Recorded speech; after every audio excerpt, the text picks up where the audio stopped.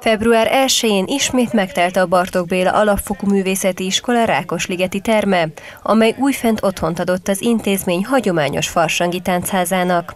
A játékos elemekkel tarkított tavaszváró program már 2012 óta szinte minden esztendőben megrendezésre kerül, így kiemelt szerepet tölt be mind a diákok, mind pedig a tanárok életében, emelte ki Balog Lázár intézményvezető. Továbbá rámutatott, fontos, hogy az új tudás elsajátítása mellett a növendékek ápolják és megőrizzék a népi hagyományokat.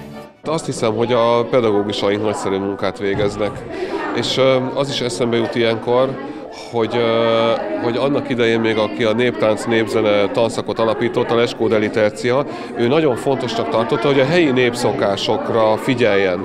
Tehát, hogy hát talán sokan tudják a nézők közül, hogy ő írt is egy könyvet a Rákos keresztúri népszokásokról, néphagyományokról, és hogy ez ezekben a, mikor itt az iskolában szervezünk ilyen táncházakat, különböző ilyen együttléteket, amik a népzene, néptánc tanszakhoz kötődnek, akkor mindig ez is fontos. És szerintem ezt itt tudják a helyi szülők, gyerekek, nem tudom, hogy, hogy, hogy tényleg a helyi hagyományokba kapcsolódnak bele, vagy hát úgy is fogalmazhatom, hogy sok esetben azt tanuljuk újra.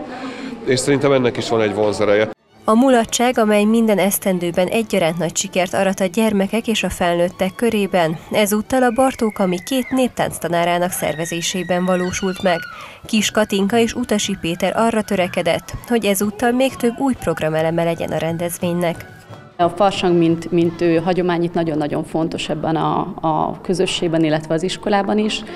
Ugye ez már egy jó pár éve folyamatosan ő kihelyezett hangsúlyt kap, hiszen a gyerekeknek ez az egyik leg népszerűbb ünnepe, ugyanis mindenki egy teljesen más állatnak, kis kedves dolognak bújhat a bőrébe, úgyhogy igazából ez elég régóta tényleg egy ilyen központi szerepben van, próbálunk még minél jobban felfrissíteni, új dolgokat belecsempészni, hogy minél jobban egy hogy nem csak megtartsuk a hagyományt, hanem folyamatosan ápoljuk azt, illetve egy kicsit tovább építsük a közösségbe. A kicsik a mezőföldi és dunántúli ugrós táncokat mutatták be, majd a rendezvényen jelmezversenyre is sor került a növendékek legnagyobb örömére.